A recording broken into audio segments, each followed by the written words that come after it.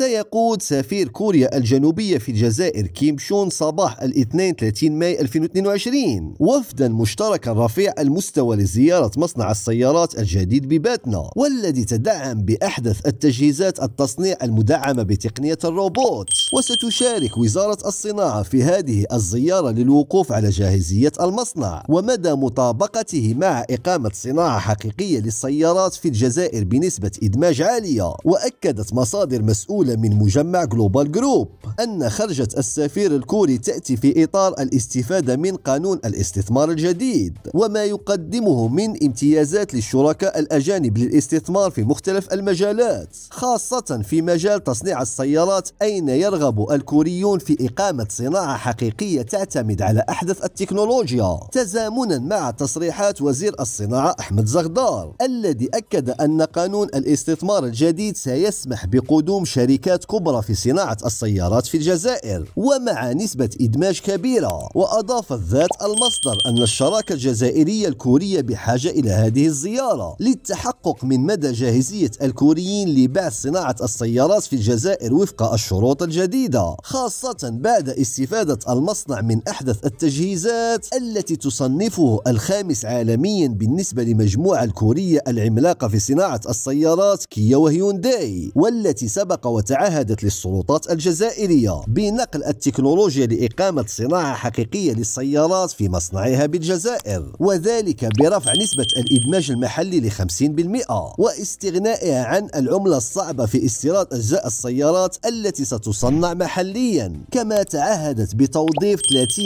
ألف عامل في مصنعها بباتنا الذي سيكون مفتاحا لمختلف العلامات في الجزائر لصناعة هياكل السيارات ووقف استيرادها من الخارج. وتجدر الإشارة أن الصانع الكوري للسيارات جدد ثقته في مجمع Global Group الذي قدم مخطط عمل لتصنيع السيارات في الجزائر والتي تعتمد على الصناعة المحلية لهياكل السيارات انطلاقا من الحديد الجزائري محلي الصنع. وكذا مجالات التلحيم ودهن وصناعة قطع الغيار ولواحق السيارات. وذلك بتنسيق مع الوكالة الوطنية لدعم وتشغيل الشباب والصندوق الوطني للتأمين على البطالة من أجل إنشاء ألف شركة صغيرة ومتوسطة لأجل المناولة وصناعة الأجزاء البلاستيكية ومرافقة الشريك الكوري لهذه الشركات الناشئة من أجل تطويرها والدخول إلى الأسواق العالمية. كما جسد المجمع اتفاقا مع مديرية التكوين والتعليم المهنيين لولاية باتنا من أجل تكوين اليد العاملة بمختلف مصانع المجمع وتعيين البرامج البيداغوجية لمختلف اختصاصات الصناعات الميكانيكية مما يمكن مختلف المتربصين بالإطلاع على آخر مناهج العمل والتكنولوجيات المستعملة في تخصص الميكانيكي. وفي الأخير جبنا لكم صور حقيقية من المصنع كيا بباتنا وكل هذه الحاويات المغلقة مليئة بالروبوتات وأجهزة متطورة لصناعة السيارات. والمصنع جاهز بنسبة 70% مع توفره على معدات تصنيع السيارات والشاحنات. وفي الأخير كل التوفيق والدعم لهذا المصنع الواعد.